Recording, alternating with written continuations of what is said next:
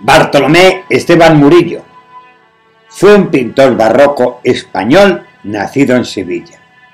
Formado en el naturalismo tardío, evolucionó hacia fórmulas propias del barroco pleno, con una sensibilidad que a veces anticipa el rococó en algunos de sus peculiares e imitadas creaciones iconográficas, como la Inmaculada Concepción o el Buen Pastor en figura infantil.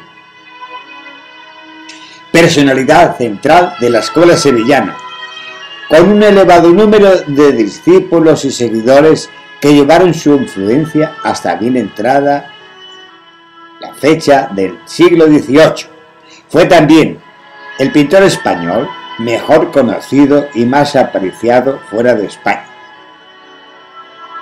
El único del que Sandrat incluyó unas breves y fabulada biografía en su Academia Picture Hereditaire de 1683.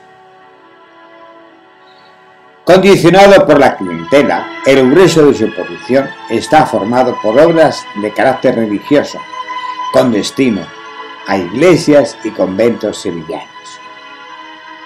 A diferencia de otros grandes maestros españoles de su tiempo, también cultivó la pintura de género de forma continuada e independiente a lo largo de buena parte de su carrera. La colosal Inmaculada Concepción se encuentra en el Museo de Bellas Artes de Sevilla. La realizó en 1652, en estilo barroco de la escuela sevillana. De este pintor se conocen cerca de 20 cuadros con el tema del Inmaculado, pintados por Murillo, que han hecho que se le tenga por el pintor de las Inmaculadas una iconografía que renovó en Sevilla, donde la devoción se hallaba profundamente arraigada. La más primitiva de las conocidas sea probablemente la llamada Concepción Grande o Colosal, que está en Sevilla, en el Museo de Bellas Artes. Fue pintada para la iglesia de los franciscanos, donde se situaba sobre el arco de la capilla mayor, a gran altura, esta aproximación al tema Murillo rompió decididamente con el estatismo que carizaba a las Inmaculadas Sevillanas, dotándola de vigoroso dinamismo y sentido ascensional, medio el movimiento de la capa. La Virgen viste túnica blanca y manto azul. Murillo prescindió por entero de la tradicional iconografía de la mujer apocalíptica. Dejó solo la luna bajo sus pies y el fondo atmosférico de color ambarino, sobre el que se recorta la silueta de la Virgen.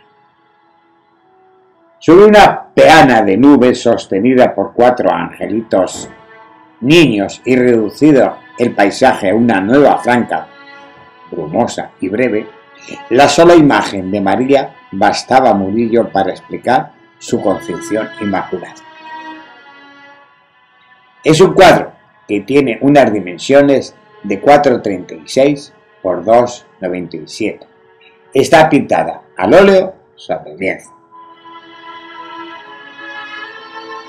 Entre los elementos que destacan de su temática sobre la Inmaculada y presentes en su obra, hay que citar, por su acusado dinamismo, los ampulosos ropajes de amplios vuelos con que recubre la figura de María y el grupo de ángeles que le acompaña revoloteando a los pies y el predominio de los colores blanco y azul. Otras pinturas de Murillo sobre el mismo tema.